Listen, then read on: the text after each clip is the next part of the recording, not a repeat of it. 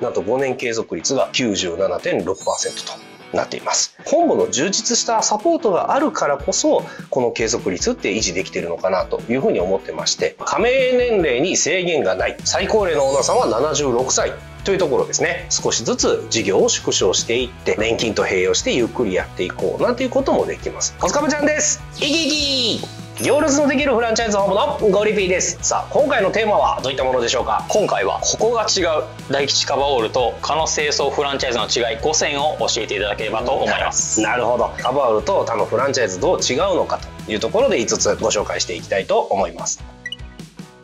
まず1つ目売上保証があるというところですね。正直ここが一番のポイントです、まあ、これによって事業を始めるにあたって一番つまずきやすいとされている営業部分を本部が代行しますので自身は実際のお掃除の作業であったりですとかあるいはそもそものこう経営というところに集中できる環境があるというのが一番大きなメリットになります。何も知らない人からすると売上保証があるって聞くと任せてしまって無敵じゃんって思ってしまうと思うんですけれども、はい、そういった弊害とかはないんですかね？そうですね。あの正直過去にそういった方もいらっしゃいました。入った時は理解はしてるんだけど、まあ、入ってこう長年やっていくと本部に任せとけばいいやみたいな。発想になってしまう人もいらっしゃったんですけど、まあ、そこはこうしっかり都度話をしてですね、まあ、そもそもあなたは個人事業主なんですよと。その上で売上保証っていうのは本部がこう代行するというところですが、まあ、自分は何もしなくていいというわけではなくて、まあ、自身が担当する顧客へのアフターフォローっていうのはある意味皆さんの営業というところになりますのでそこはしっかりとしていただくように本部から指導をさせていただいています、まあ、最初の保証はされているけれどもその後継続をま努力して頑張っていかないと将来がないということですね。おっしゃる通りですね。2つ目加盟年齢に制限がない。最高齢のオーナーさんは76歳というところですね。正直全くないかといえば少し違うんですけれども事業の特性上ですねある程度例えばご自身の希望を反映した形で売上を達成していける働き方を決めることができるというところがあります。なので例えば若い時元気な時はもうガツガツとがっつり働いてですね休みももう少なくしてどんどん稼ぐっていう方法も取れますし年齢の上昇とともに少しずつ事業を縮小していって年金とと併用してゆっくりやっていこうなんていうこともできます。逆にこう年齢が上がった後ですね人を雇用して自分はあんまりこう現場に出ずに従業員さんにしっかりとお掃除をしていただいて自身は管理経営の方に回るなんていう方法もありますので、まあ、そういったところで年齢制限がないというところがありますね。もともとこう最高齢実は79歳ということで過去動画でもお話はさせていただいてたんですがその方ちょっと直近でこう名義変更があったので最高齢が76歳に更新されたというような感じになってます。76歳とか高齢になれてる方っていうと、はい、前職とか、まあ、かなりこうリタイアしてから加入される方とかもいると思うんですけれどもそうですね、まあ、そういう方でも可能な業種なんですかね？はい。実際には同じ60歳でも元気な60歳と正直そうじゃない60歳っていらっしゃると思うんですよ。元気な方なら大丈夫です。というのがお掃除自体で自分で作業しますからやっぱある程度の体力はいるんですよね。でそれなりにこう一日やると疲れる仕事でもあるのである程度こう動ける方なら問題ないかなというような形ですね。はいお邪魔します。営業不要売上保証のお掃除フランチャイズ大吉カバールの加盟オーナー大募集中です。詳細は概要欄から。事業継続率ナンバーワンのフランチャイズがここにあります。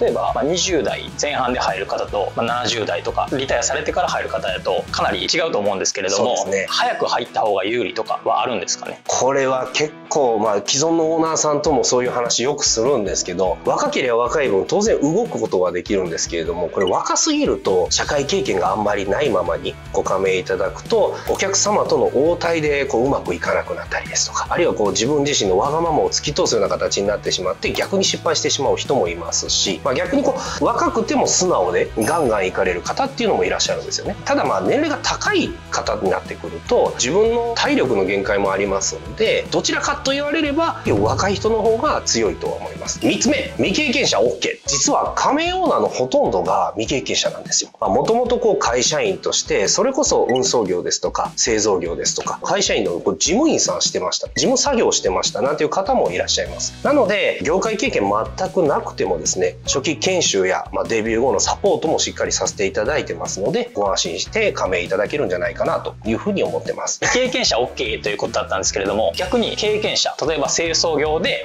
働かれていた方。で有利とか不利とかはあるんですかね？やっぱり有利ですね。もともとの知識がある方、まあ、実際こう私の担当した研修生の中にもいらっしゃったんですけどももう理解も早いですし次何したらいいか。どうやったら効率よく綺麗にできるかっていうコツを知ってますんで当然やっぱり経験者の方が強いは強いです。ただでも未経験者がそんなに劣るかっていうとやっぱ知識や経験の差は多少あるんですけれどもやっていくうちに埋まっていくものでもありますので、まあ、そんなに心配するところじゃないかなというのはありますね。経験者の方が有利ってことやったんですけれども、はい、他にこの業種からやと移りやすいとかまあ、親和性があるっていう業種とかってあるんですかね？これはあのやっぱ体を動かす仕事なので現場仕事をもともとやってた。それこそ大工さんですとか内装業ですとかそれに近いものでいうと運送系ですね。運転するけど荷物の出し入れとかでしっかり動かれてた方はあんまりこう違和感なく作業に従事できるっていうのは皆さんよくおっしゃいますね。ただちょっと1点だけお伝えしておきたいのが、まあ、個人事業主になりますので自ら責任を持って事業に取り組むっていうところは皆さんに意識いただきたいなというところでございます。では4つ目サポートが手厚いので5年後の事業継続率が97.6%というところですね。起業して5年の間に倒産する会社って世の中で60%ぐらいあるって言われてるんですけれども、まあ、そんな中で弊社ですねご加盟いただいた方5年継続率が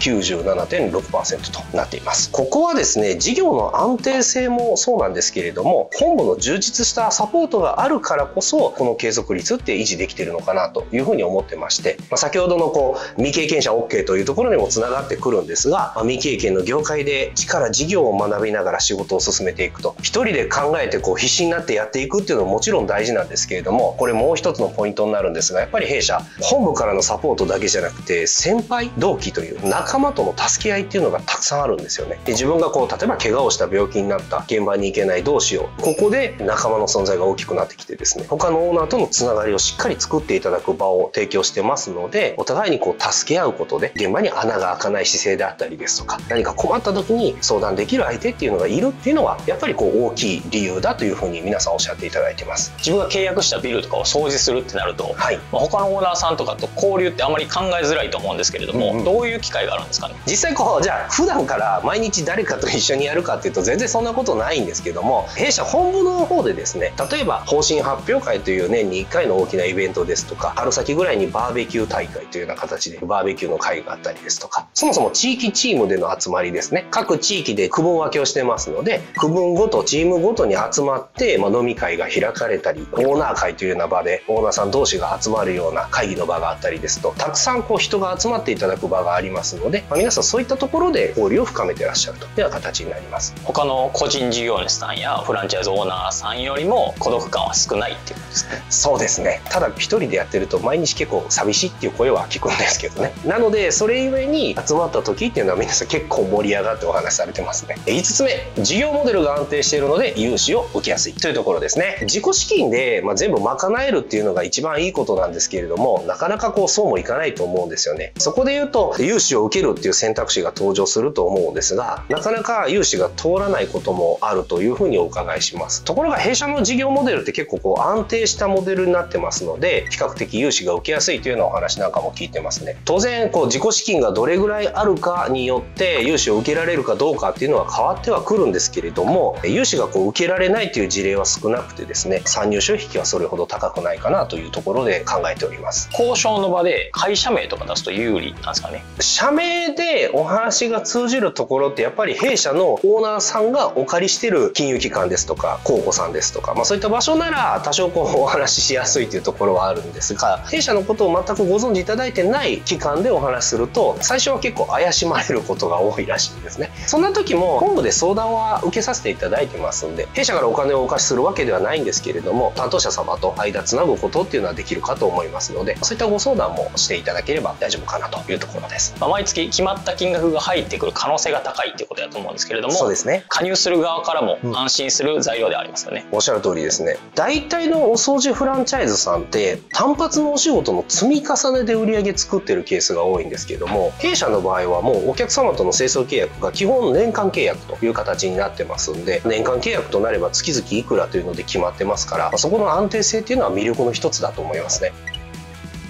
ということで本日はここが違う大吉カバオルと他の清掃フランチャイズとの違い5選というテーマでお話をしてきたんですがいかがでしたでしょうか？今回の動画見ていただいて良かったなと思う方は是非高評価とチャンネル登録の方よろしくお願いいたします。それではまたお会いしましょう。ゴリピーでした。